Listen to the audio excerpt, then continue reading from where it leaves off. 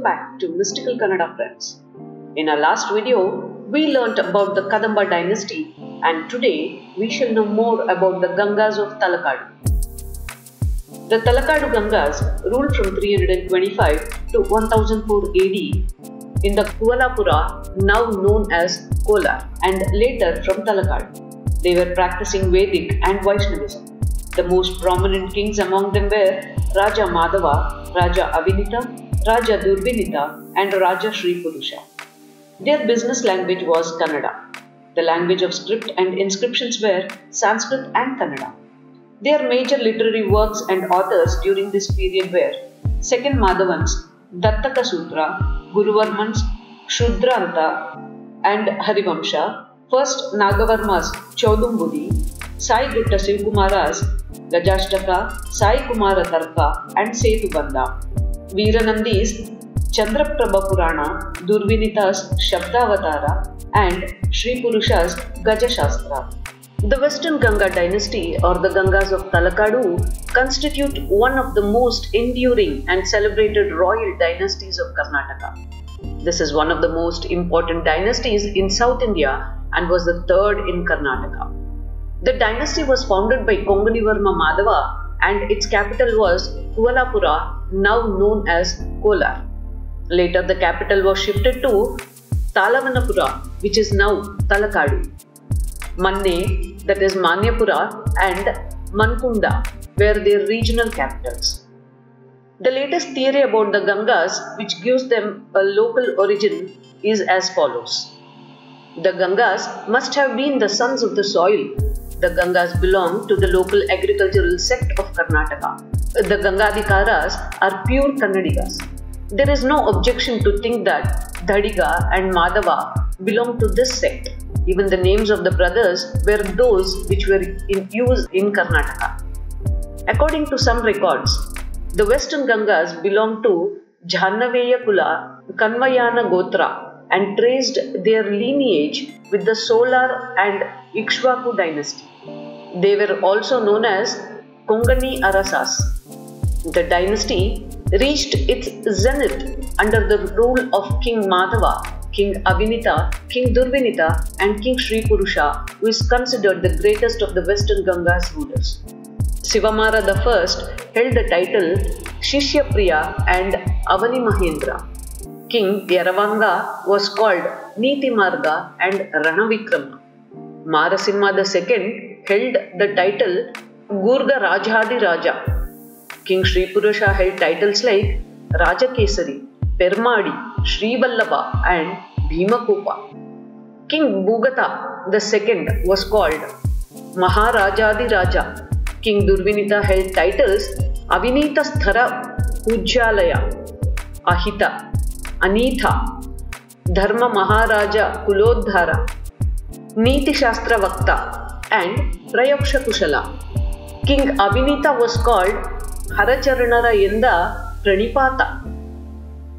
The Gangas were essentially secular and encouraged all major religions such as Jainism, Saivism, Vedic Brahmanism, and the Hindu sects of Shaivism. They practiced, they practiced the Vedic religion and later adopted Jainism. Shiva, Vishnu, Durga, and the Tirthankaras were worshipped by them. They are most famous for their patronage towards Jainism, resulting in the construction of monuments in places such as Shravanabelagola and Kambadahalli. The Western Gangas used Kannada and Sanskrit extensively as their language of administration. Literary Jains used Kannada as their medium to spread Jain faith. Ganga kings were well known warriors and patrons of art and literature. They encouraged the fine arts, due to which literature in Kannada and Sanskrit flourished. Many classics were written on various subjects ranging from religion to elephant management. Durvinita was a patron of literature and arts and was a poet by his own merit. He is the author of Shabdavatara and he has written a commentary for Bharavi's Kiratarjuniya. He is credited with translating Gunadya's Vaddakatha. Sri Purusha ranks among the more important Ganga kings. He implemented many administrative reforms and he is the author of Gajashastra. Saigotta Shivamara had a checkered career and he has authored Gajashtaka and Setubandha. Chaundaraya's Chaundaraya Purana is an, an important work in Kannada prose. Nagavarma I was a noted Jain writer and poet in Kannada.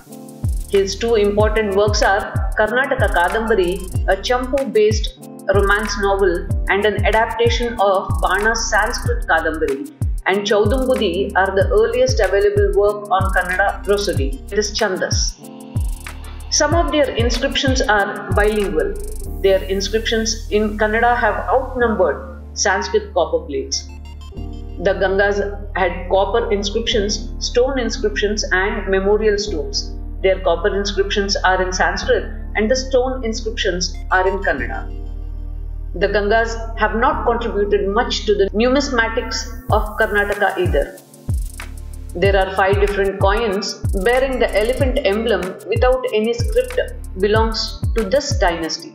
Recent excavations at Tumbula near Mysore have revealed a set of early copper plate bilingual inscriptions dated 444 the genealogy of the kings of the dynasty is described in Sanskrit while Kannada was used to describe the boundary of the village. An interesting inscription discovered at Beguru near modern Bangalore that deserves mention is the epigraph dated 890 that refers to a Bengaluru war. This is in Alegannada language and is the earliest mention of the name of Bangalore city. They encouraged agriculture by building canals and supported trade by adopting proper policies of taxation.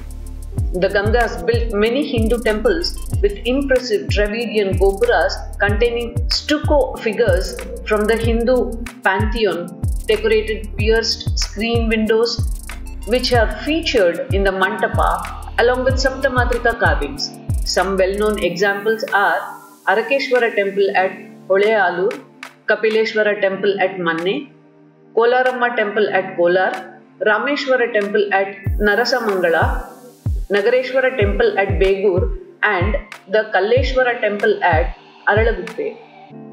At Talakad, they built the Maraleshwara temple, the Arakeshwara temple, and the Pataleshwara temple. Unlike the Jain temples, where floral decoration is common, Hindu temples were distinguished by slab of stone with decorative sculptures illustrating episodes from the epics and Puranas. The architecture and sculpture of Gangas do not have many distinctive features even though many temples and basadis were built during their reign. The temples at Manne, Narasamangala, Kolara, Kitturu, Nandi and the Chaundaraya Basidi at Shravanabelagola are the more important ones among them. The Ganga kingdom comprised of Kolara, Mysore state and of the Kaveri river basin excepting the delta of Tanjavur, Bangalore, Tumkur and Mandya. This region was known as Gangavadi.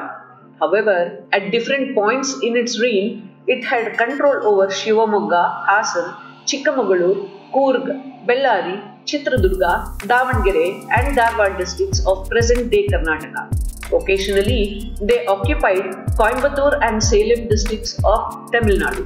They ruled for about 600 years. That's about the Gangas of Talakadu. We shall meet in our next video related to the Badami Chalukyas dynasty. Until then, like Kannada, love Kannada and subscribe Mystical Kannada for a lot more interesting videos about Kannada and Karnataka. Siriganadam Gelge, Siriganadam Bye.